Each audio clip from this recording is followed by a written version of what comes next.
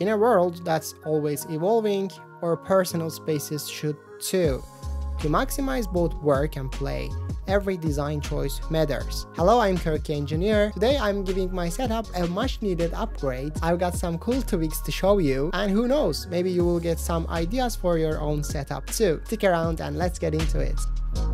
This is my previous setup it was perfect for me and I used it for two years. Setup has the IKEA Saljan kitchen countertop. It's 186 centimeters long and around 60 centimeters deep. The countertop sits on two of the IKEA Narbcell legs and one of the Alvarez leg that is uh, seems like they discontinued now. After using the setup in this configuration for two years, setup felt just not quite there for the storage space and the desk height. To upgrade the setup, I went with the classic IKEA hack with two Alex drawers, but with an extra twist. I also bought 8 furniture legs or furniture risers, whatever you call it. Those will go between the Alex and the Saljan desk that I have to create more space and also increase the height of the desk. After I ordered the stuff from the IKEA, I got the delivery in a week and I started to disassemble my old setup. Then I continued with installing the drawers. Here as you can see the Alex drawers that I built sitting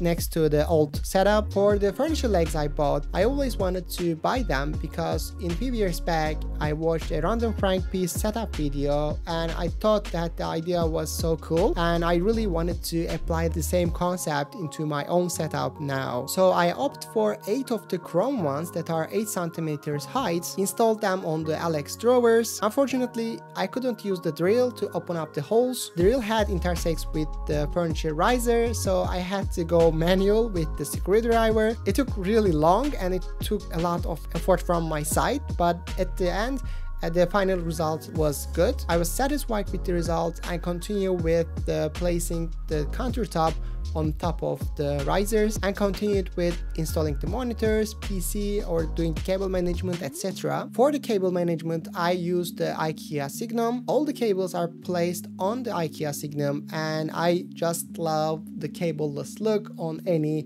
PC setup just looks so nice on any setup I look at it when there is no cables. So I always go with the cable management. One important thing to mention is the monitor layout. In my previous setup I was using two horizontal monitors but for this time I switched to one horizontal and one vertical. I've been using it for a week now and I think it has some advantages to two horizontal ones. For example if you read lots of long text or if you write code it's great for that purpose and also it's just just really great for watching YouTube shorts. It's just like 24 inch tablet that I can watch shorts with. It's just great. For now, I will use this layout and if anything changes, I will let you know. I hope this video gave you some ideas to improve your setup too. If you like this video, please consider subscribing to the channel and like this video. It really helps the channel to grow. See you in the next video.